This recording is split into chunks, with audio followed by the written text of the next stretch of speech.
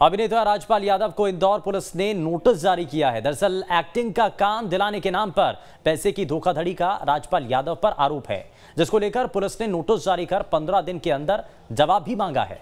इस मामले की शिकायत सुरेंद्र सिंह सरदार ने की थी और उनका कहना था कि उनके बेटे को टेस्ट दिलाने के लिए राजपाल यादव ने पैसे मांगे थे और फिर भी काम नहीं दिलवाया।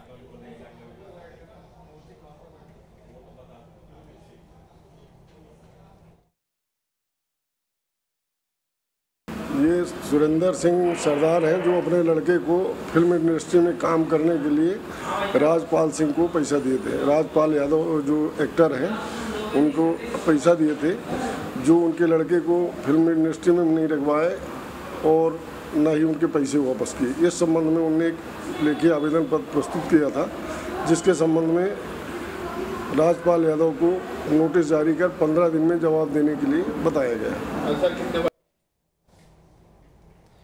TI Hakam Singh Pawar suicide case में रोज नए खुलासे हो रहे हैं। अब रेशमा नाम की महिला ने टीआई की पत्नी होने का दावा पेश कर दिया है। साथ ही घायल एएसआई रंजना खांडे पर संगीन आरोपी लगाए हैं।